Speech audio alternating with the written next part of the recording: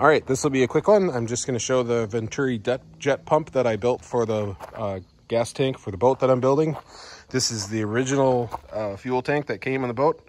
The boat was carbureted, so it does have a carbureted style fuel tank.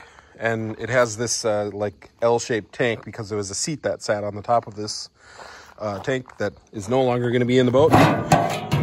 So I cut this tank up because I was going to uh, modify it. I was going to, you know, just fill out or box out the uh, stepped portion um, to get some more tank capacity. And then I was going to put a divider wall in the back and uh, put a EFI fuel pump in there. Um, I ended up just deciding to build a new tank.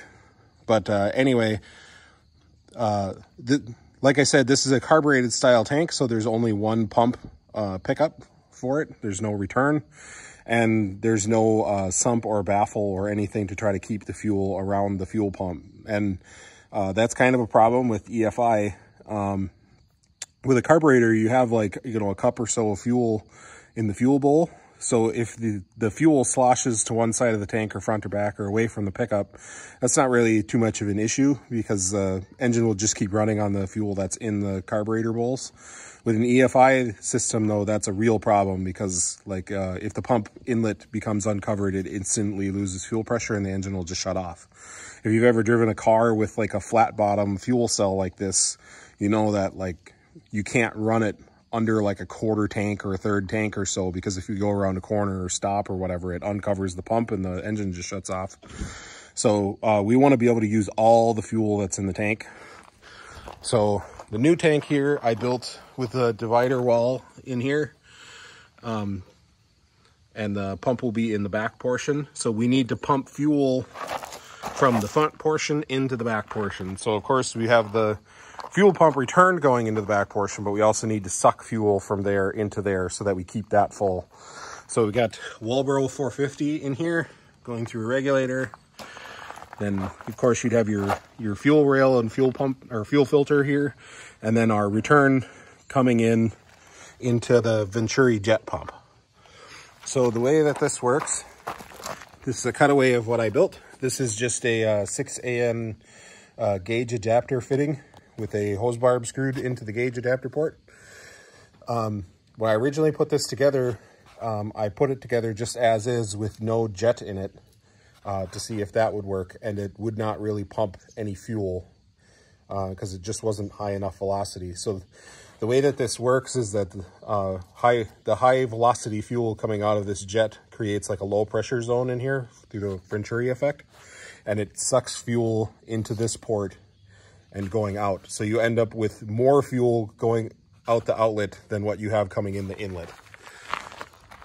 So um, to make that fitting or to make the, the, the jet in there, I actually just took a piece of brass rod in my lathe and uh, machined it so that it was a like an interference fit into that fitting and then drilled a 156 thousandths hole through the center of it. And then I just, you know, tapped it into that fitting with a hammer. So it's just kind of a light press fit.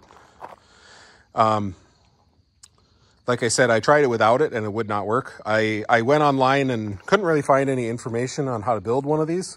There's quite a few places that sell like pre-built ones, but they're very expensive.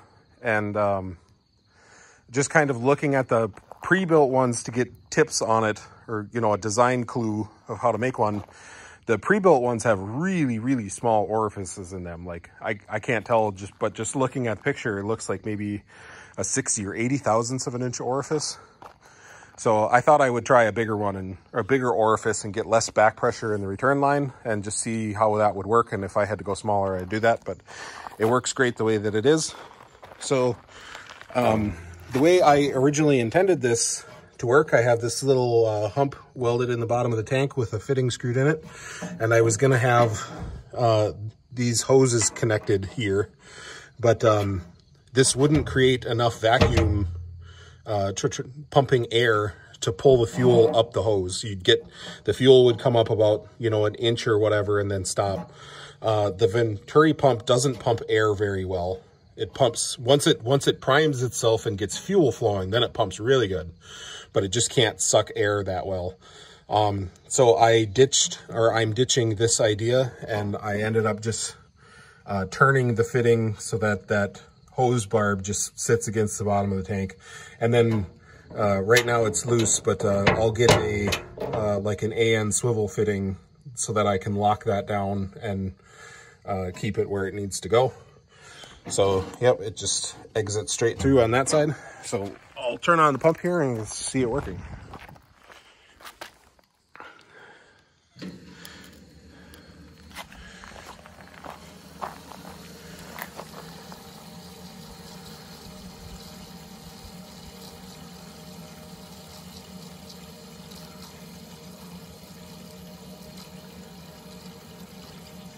So uh, as far as the fuel flow rate of this Venturi pump, so this this uh, um, boat at like cruising speed will burn, you know, maybe like 10 gallons uh, per hour.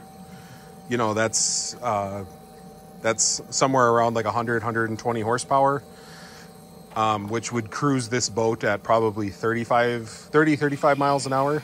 So I, that's that's a pretty realistic cruising speed. So if you do the math on that, in order to keep up with the fuel flow rate to the motor at cruise, um, we only need to pump uh, about one gallon of fuel through the Venturi pump uh, every five minutes in order to keep up with the demand of the engine and never pump that little reservoir dry.